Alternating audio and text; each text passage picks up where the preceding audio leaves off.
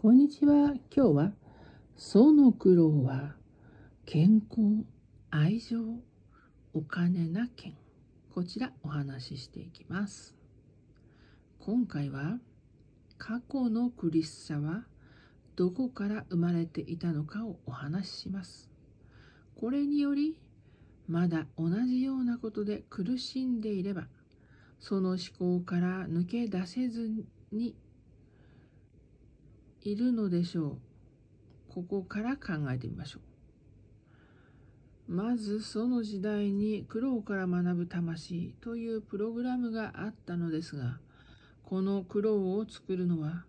主に健康、愛情、お金の3方向と言われました。まず、健康はどんなに幸せな人生を送っていても、突然家族の誰かが病気になったり死亡すると幸せは中断されてしまいます。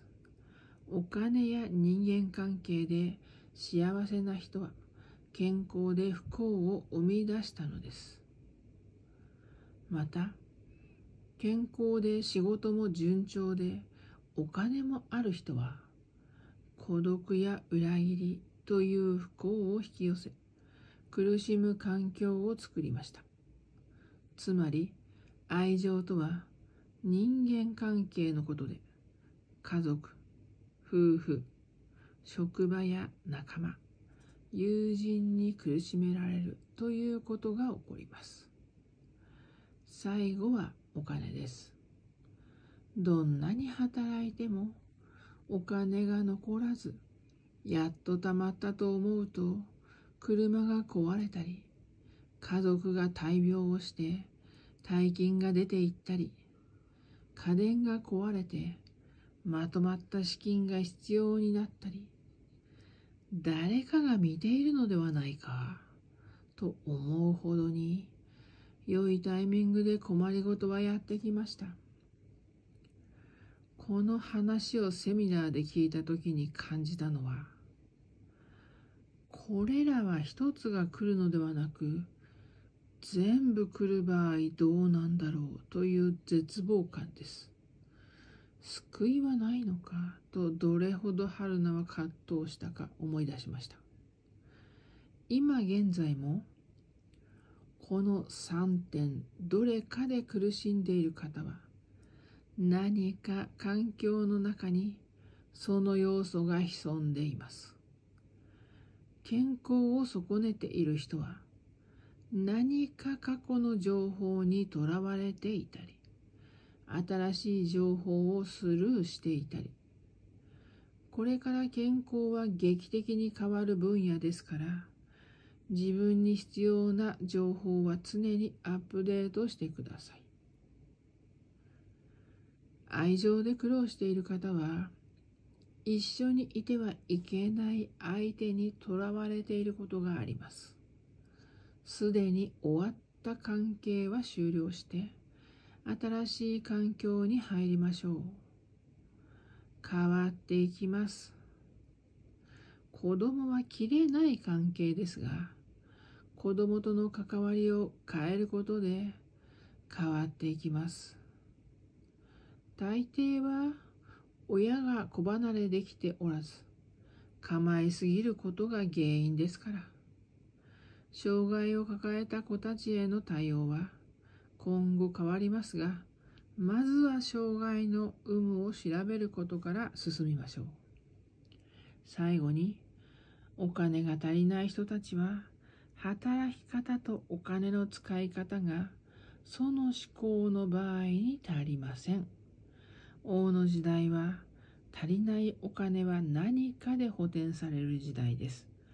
大きな借金は一旦清算して一からやり直すことも含めて一度すべて見直しましょう。まとめ。王の時代の不幸は自分で作り出している。これはその時代の名残であり、執着が関係している。はい、こちらお話ししていきます。まず、本来この3つをいっぺんに話すのは難しいんです。さらっといきましょう。詳しくはまたね、別の機会に。でそのプログラムというのは、10年以上前、2014年以前に、2500年間、ものを進化させるために物質社会、高度物質社会、あ定時だ。定時物質社会という文明の中で人間がヒエラルキー、ピラミッドの頂点に立ち、自然界をもう従わせて、いろんなものを壊して掘り起こしに破壊して、人間が物質を進化させてきた。まあ、こういった時代があったわけですね。この時代において一番大事なことは苦しみの中から何かものを生み出すという思考です。外見、中身よりも外見、見かけ、外見、すべてものに関わるという世界でした。これが10年前に終わりました。100年間の準備期間はあったらしいですが、一応10年前に終わり、王の時代、今度は心が働いて、物ではなく、心中心の社会に変わりました。この心中心の社会の中では、楽または楽しさから学ぶ魂ということで、楽しいことによって技術を磨き、社会に貢献していくまたは自分自身が進化していくというね、プログラムに変わったのです。でこのプログラムの変化により、以前苦しかった苦しみを生んでいた健康、愛情、お金、これが変化しています。で実際にその時代は、こういったことで苦労してましたという例題としてね、誰かが家族が病気になったりとかね。あとは人間関係で裏切りやね。不幸を引き寄せてきたりとかね。またお金がなくてお金が貯まったなと思うとドカンとなくなる。しかもなくなるお金は一緒。あも手持ちのお金と出ていくお金が一緒。こういったことが当たり前にありましたね。しかしもうこれは終わっています。ですから、お金がなくてなくて困っているという方、これはもうその思考で生きてるからお金が足りないと考えてください。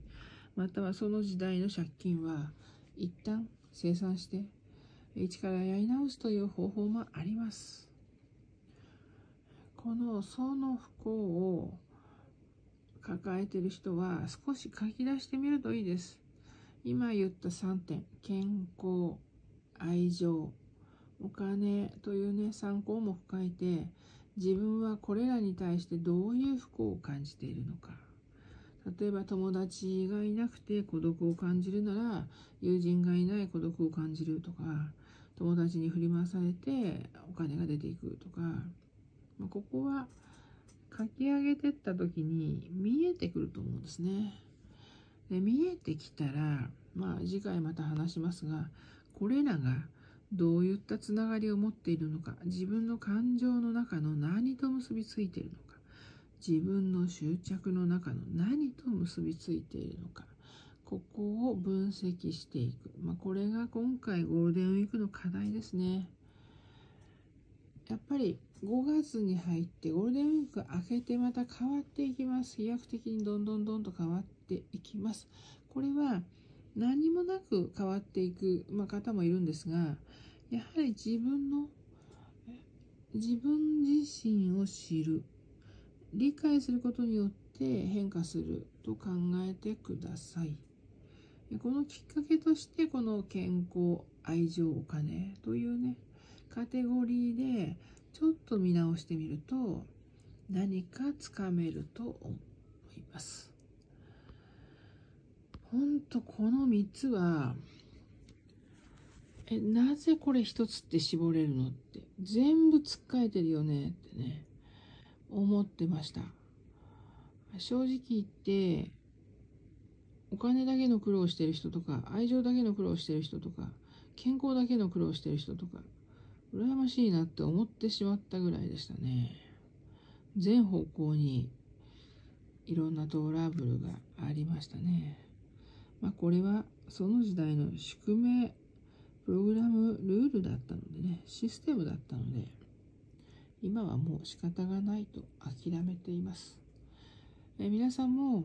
今回自分の中の過去ではなくね、今現在です。このミッションに関しては、え過去の自分がどうだったのかというのは特にいりません。ただ、書いていったら、過去の自分がどんどん出てきてしまって手が止まらないっていう場合はもう書き出して最終的にボロボロ泣きながら破り捨ててください。可能であれば燃やしてください。